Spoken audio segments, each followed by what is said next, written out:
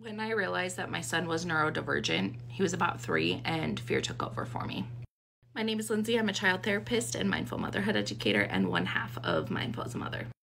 He's almost eight now, so it's been a long time, but fear of not being able to support him, fear of being judged as a parent, fear of being misunderstood, fear of my own stuff limiting me and my ability to parent him, fear of what the future would look like for us and for him really just took over.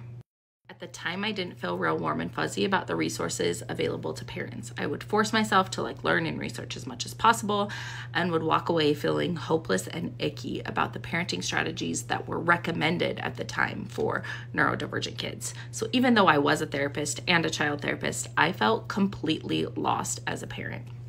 And at the time, my background was mostly in trauma. I worked with kids with high levels of trauma and they had neurodivergence, but the focus was always the trauma. And so I had to really take time to educate myself and to learn about neurodivergence, what it was, and how to parent it.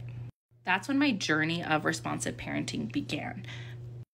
So, when Paige and I created our new video series, Responsive Parenting for Your Neurodivergent Child, we wanted to help moms move through the fear of parenting their neurodivergent child in in the same way that I had to move through that fear, but with all the information available to you. This is stuff that took me years to learn and research on my own, and luckily, times are shifting and the world is more neurodiversity affirming than it's ever been, and that is so amazing. But I still think providing accessible resources that are affordable to parents is my number one goal in life.